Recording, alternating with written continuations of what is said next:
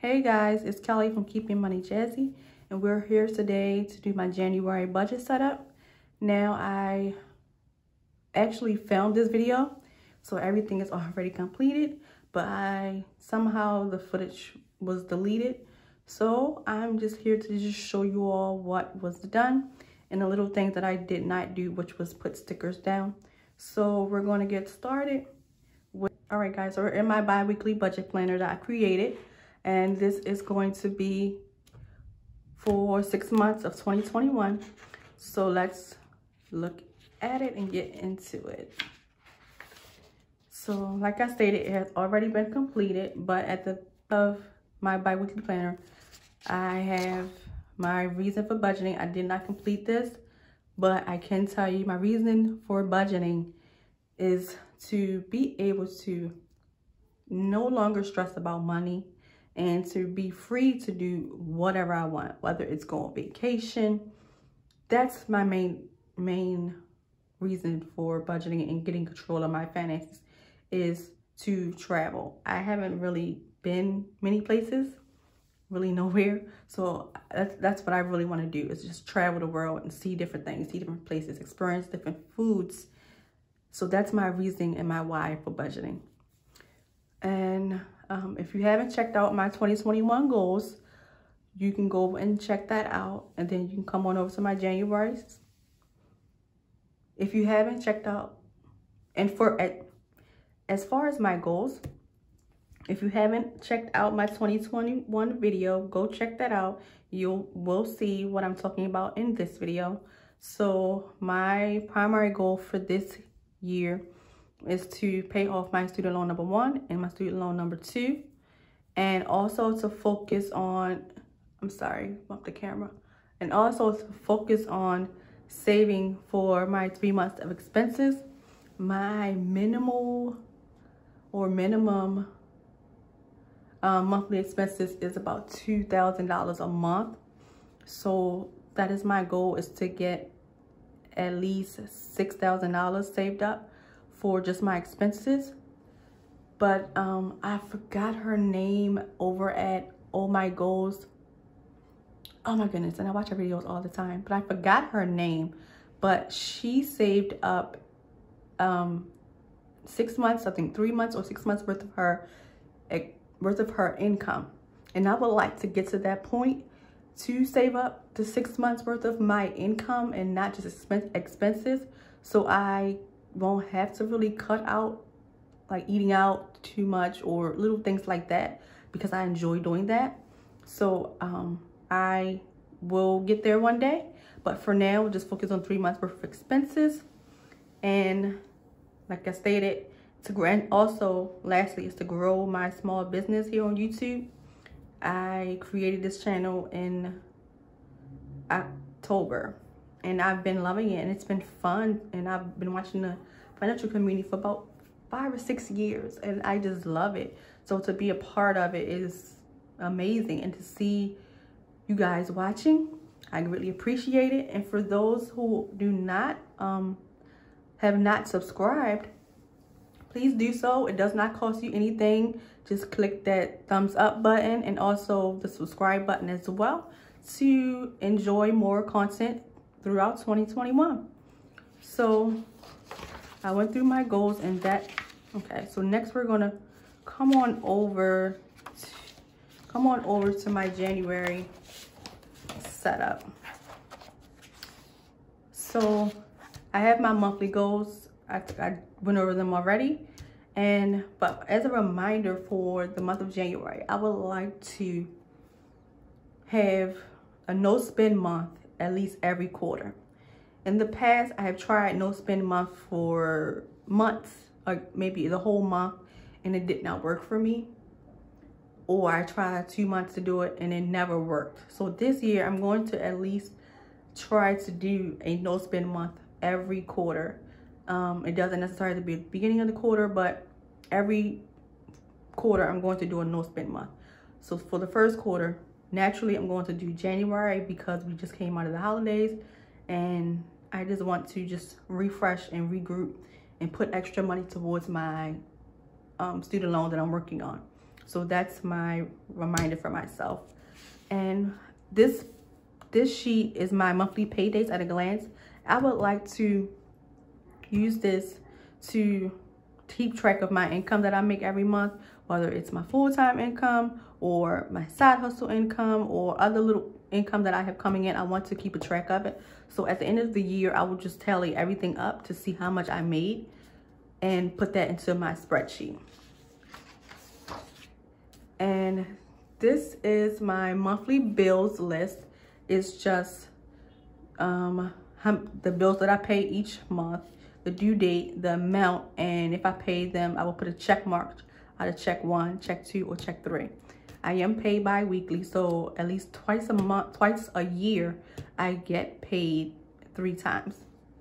And so as far as my calendar view, which is next, I am going to place some money stickers down on my pay dates. Okay, so I'm zoom you guys in a little. So in the month of January, I will be getting paid on January the 8th. I thought I had some more of those. Okay, I do. I don't really use stickers much, but I just try some. I just want to dab it up just a little bit, but still keep it simple. And I have my cell phone, which comes out on the 31st of each month. And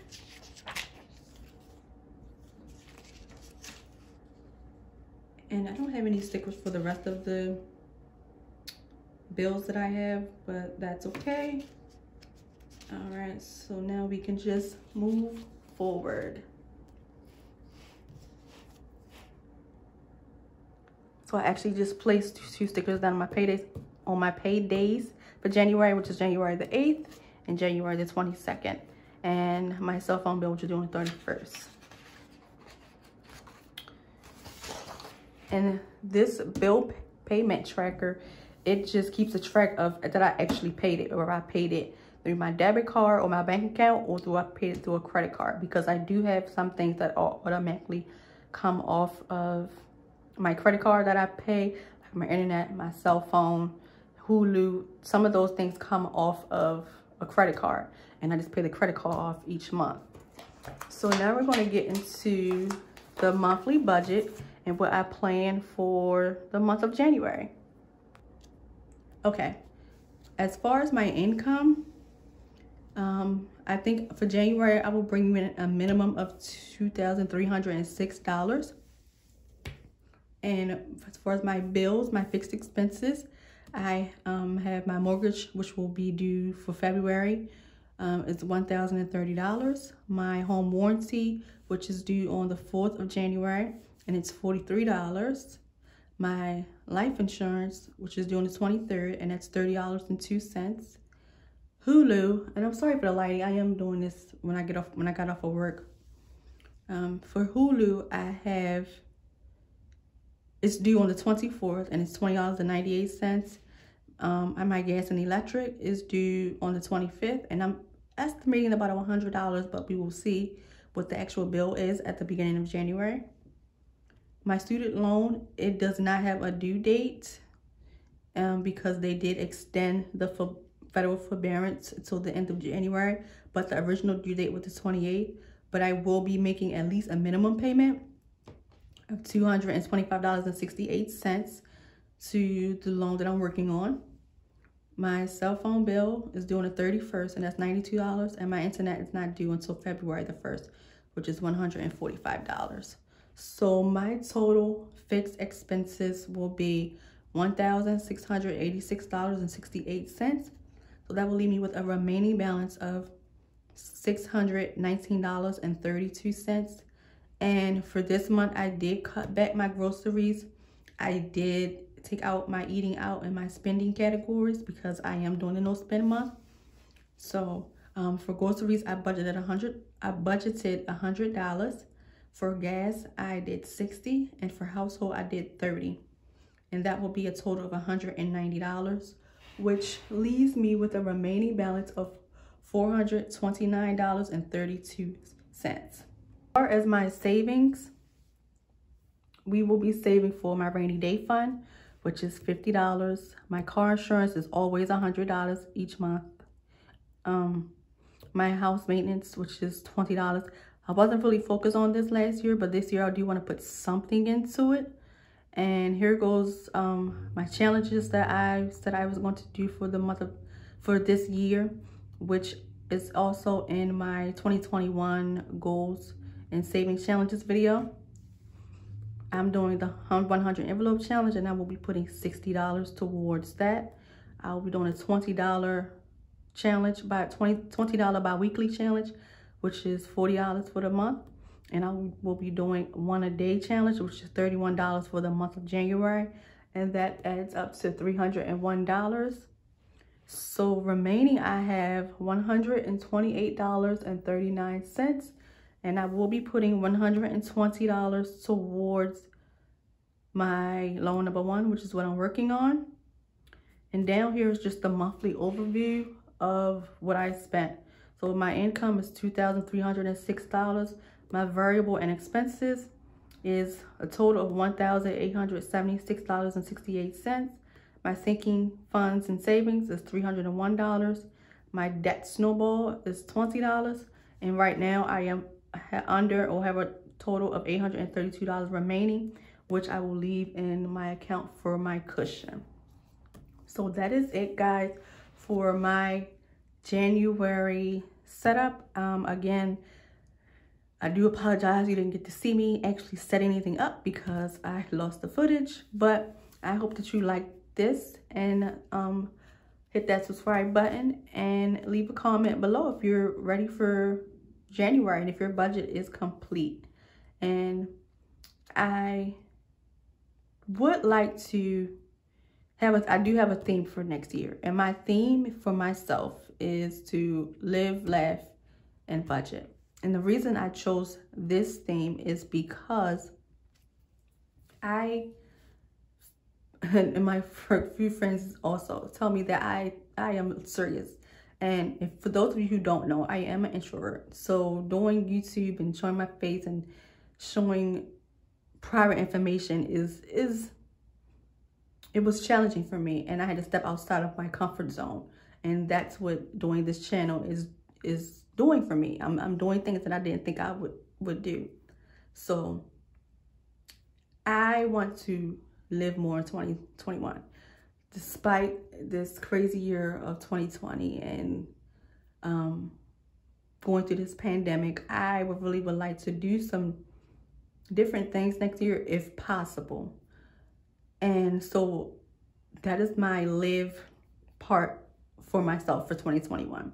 And as far as laughter, I want to enjoy life and not be so serious I'm not always serious. Um, when, once you get to know me, I am goofy, I am funny, and I do play around. But it's it takes some time getting there, and I want to loosen up a little bit to have more fun. And budget is just a part of something that I have been doing for many, many years, and that I don't see that really going anywhere. Just expanding and evolving in that process. So my theme for myself is to live, laugh, and budget. And I would like for you guys to come on this journey with me um, of, you know, sharing my journey and getting to know me a little bit better because I would like to interact with you guys and I enjoy doing this and it's fun and it, it's it's hard work but I enjoy it. So, so next time, live, laugh, and budget for 2021. And you all have a happy new year.